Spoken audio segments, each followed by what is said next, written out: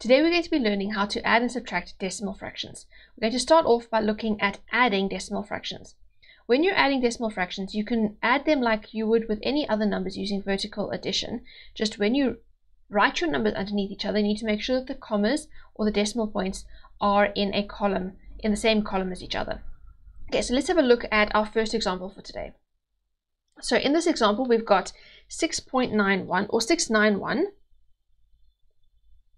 691.53 and we're adding 30.772. Okay, so as I said, the first thing we're going to do is we're going to write this for vertical addition. So we need to write them underneath each other. So I have 691.53 and then I need to write the second one underneath this so that the comma, the decimal point, is in the same column as the comma in the first one. They need to line up with each other. So this is going to be 30, comma 772.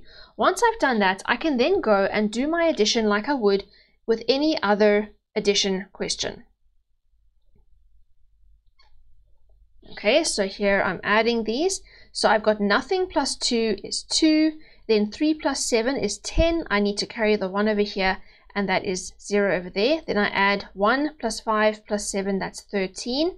Again, I carry the 1 and I put the 3 over there. Then I need to remember to put this comma here. And then 1 plus 1 plus 0 is 2. 9 plus 3 is 12. And then 1 plus 6 is 7. So for this question, you end up with 722, 722.302. So that's what you should get for that question. So when you're adding decimal fractions, it works the same as adding any other whole numbers using vertical addition. You just need to make sure that your decimal points or your commas line up with each other. They must be in the same column as each other. Okay, so now I'm going to give you a few that you're going to do for yourself. The first one is this one over here. I'm going to give you one minute to work on this question.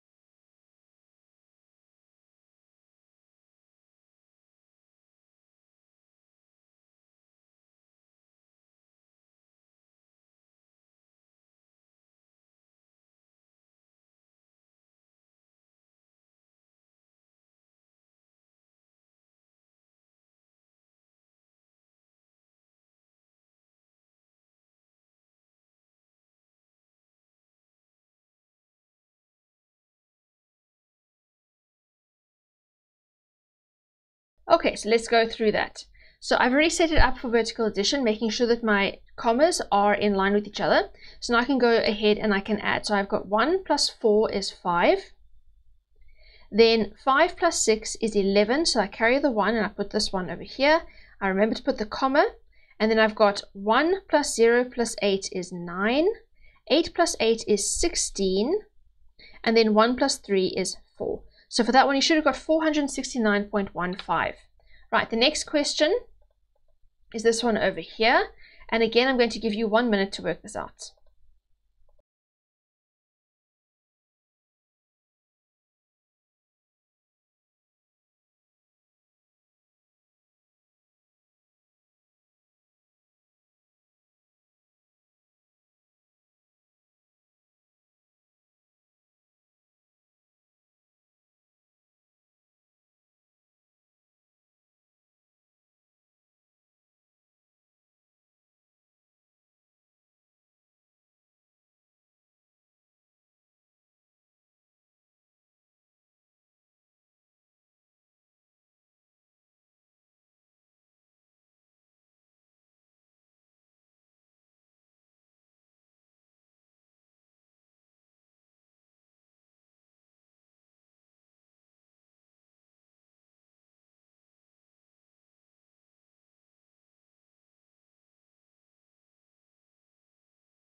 Okay, so let's go through that question. This is what it should have looked like when you set it up for your vertical addition.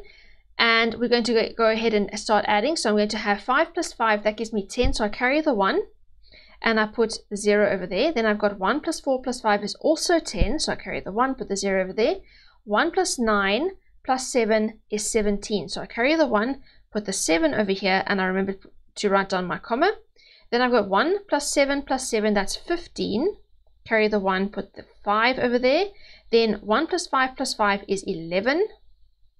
And finally, 1 plus 8 is 9. So that's what you should have got for question B, 915.700. But now, when you are writing this answer, you actually don't need to write those two zeros. We could have left those out. So I could have just written 915, comma 7, because remember when we are writing decimal numbers, when you've got zeros at the end that are after all the other non-zero digits, you don't need to write them. It doesn't change the value of the answer if you don't write those zeros. So actually we should write 915.7 for that question over there. Okay, next one. Question C. You have a minute again to work this one out.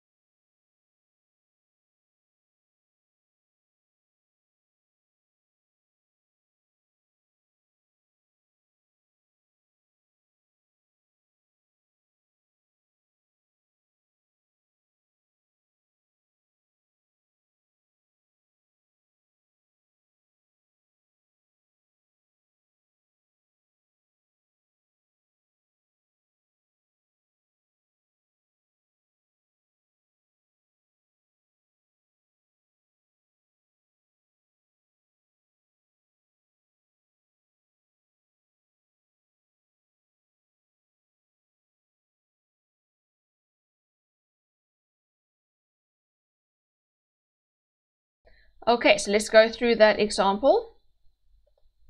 So in this one, we've got 150.49 plus 4.235 plus 57.5. So this is the first time we've had three digit or three uh, numbers, three decimal fractions that we're adding together, but the process is still exactly the same. We still write them underneath each other for vertical addition, making sure that our commas are all in line with each other. So I start off over here, I've got nothing plus 5 plus nothing, that gives me 5. Then 9 plus 3 is 12. I carry the 10, put the 2 over there. Then I've got 1 plus 4 plus 2 plus 5. That is 12. Put, carry the 1, put the 2 over there. And then I've got 1 plus 4 plus 7. That is also 12. Carry the 1, put the 2 over there. Then I've got 1 plus 5 plus 5 is 11. And 1 plus 1 is 2. So for that one, you should have had 212.225. Okay, and then the last one for the addition that we're going to do in this lesson is question D over here. And I'm going to give you a minute to work this one out as well.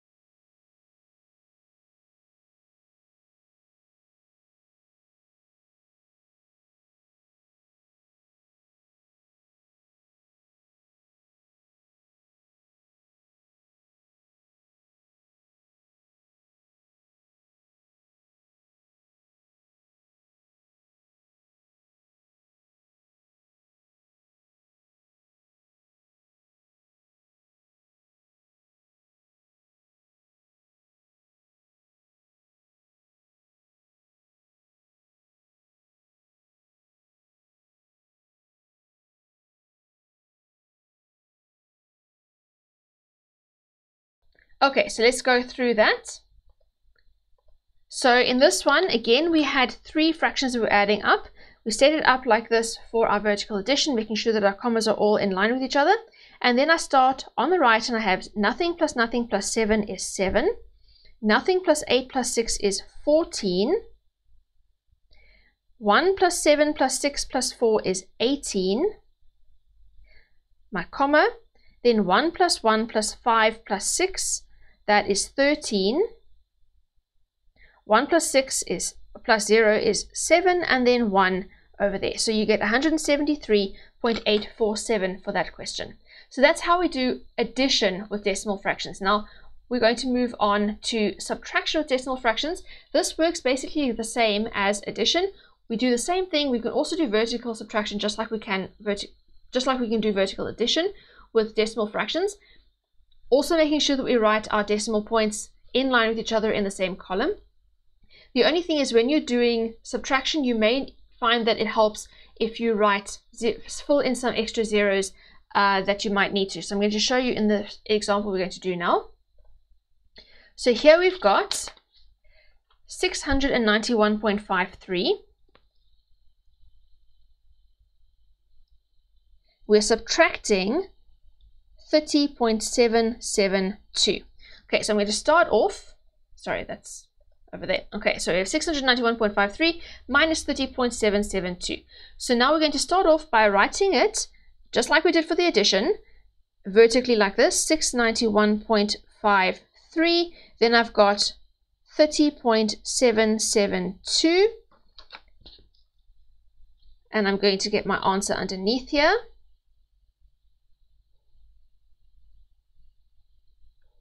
And we are subtracting these.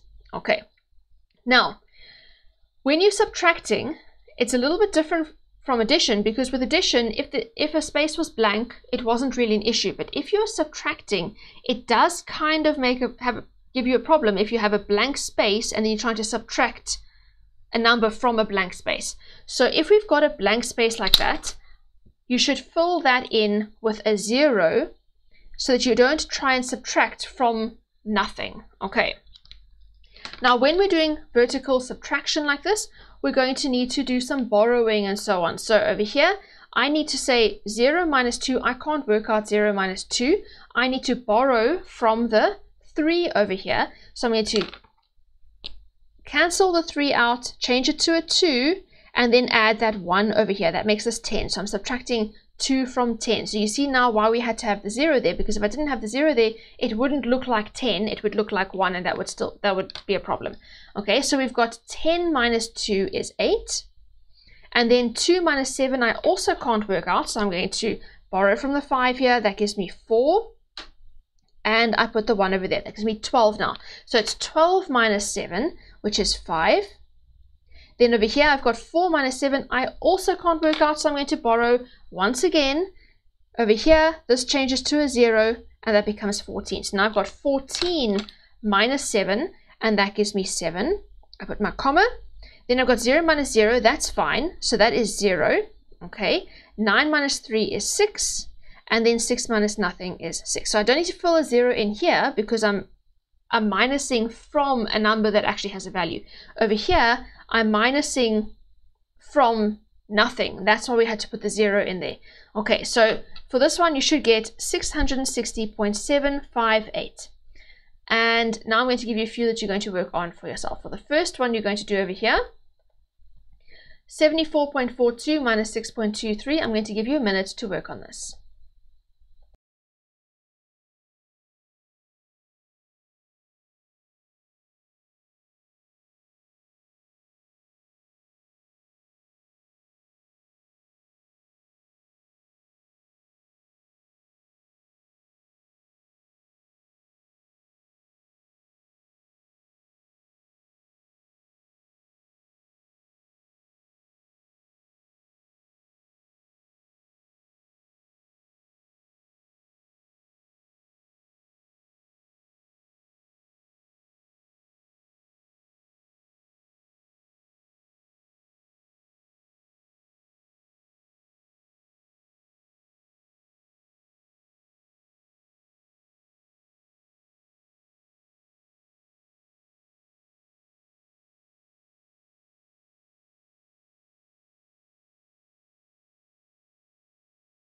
Okay, so let's go through that example and see how you did. So we start off writing them underneath each other, making sure that our commas are in line with each other. Now I'm going to subtract. I don't need to add in any zeros because there are no blank spaces in the top number. Okay, so I've got 2 minus 3. I need to borrow to work that out. So I'm going to borrow from the 4. That changes to a 3. And this becomes 12 over there. So I've got 12 minus 3, which gives me 9. Then 3 minus 2 is 1. I put my comma down. And then I've got 4 minus 6, which again I can't do, so I need to borrow. So I'm going to borrow from the 7. That becomes 6, and that becomes 14 over there. So now I've got 14 minus 6, which is 8, and then 6 minus nothing is 6. So for that one, you should have got 68.19. Right, the next question. Question B, you have a minute to work this out as well.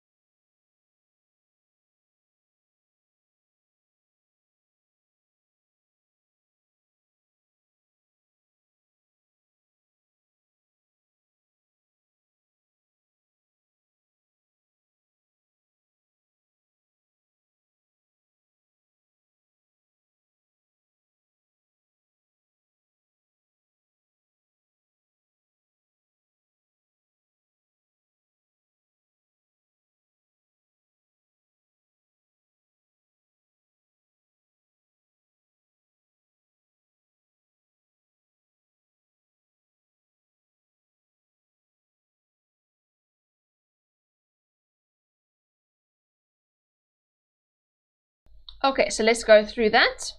So in this one, we had 814.71 minus 466.49. So first, I've got 1 minus 9. I need to borrow to work that out. So I'm going to take from the 7 over here, that changes to a 6, and this becomes 11. So now I've got 11 minus 9, which is 2. Then 6 minus 4 is also 2. I put my comma down. Now I've got 4 minus 6. Again, I need to borrow. So this is going to change to a 0, and this becomes 1. So I've got, or 14. So that's 14 minus 6 is 8. Then 0 minus 6, again, I need to borrow. So I'm going to take from the 8 over here, that becomes 7, and this becomes 10 over there. So I've got 10 minus 6 is 4, and then 7 minus 4 is 3. So for that one, you should have got 348.22. Right, the next question you have one minute again to work this out.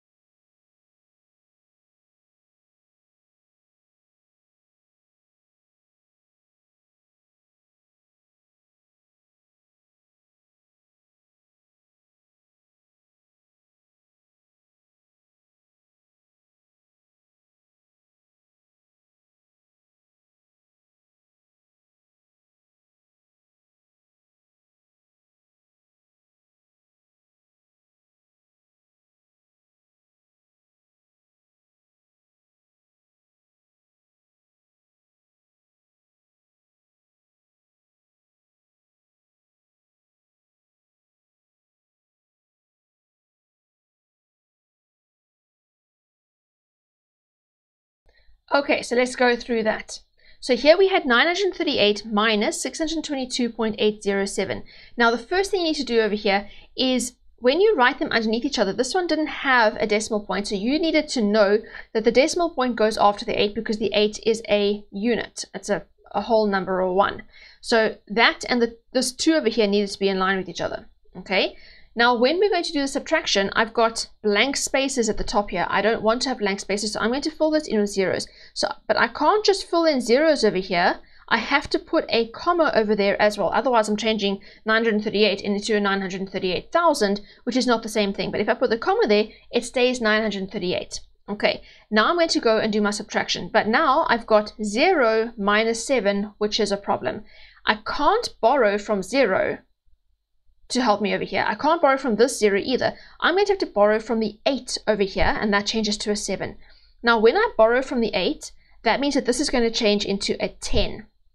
But I still need over here, so I'm going to borrow from the 10 again, and that changes to a 9, and this changes to a 10. Then I borrow from the 10 again, this changes to a 9, and this changes to a 10. So now I've got 10 minus 7, that gives me 3. Then 9 minus 0 is 9. 9 minus 8 is 1. Sorry, this should all have been that. Okay, 9 minus 8 is 1. Then I've got my comma. Then 7 minus 2 is 5. 3 minus 2 is 1, and 6 minus, 9 minus 6 is 3. So for that one, you should have got 315.193.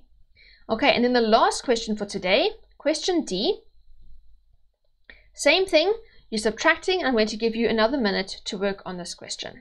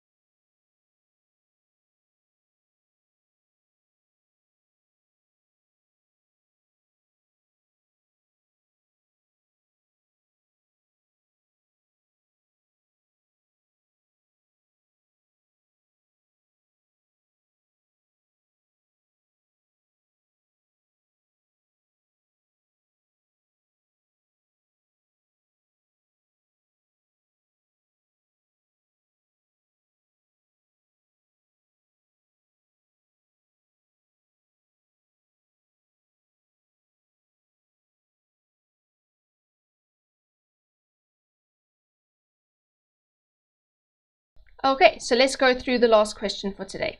So over here, once again, I've got blank spaces at the top here that I'm going to fill in with zeros so that I can do my subtraction.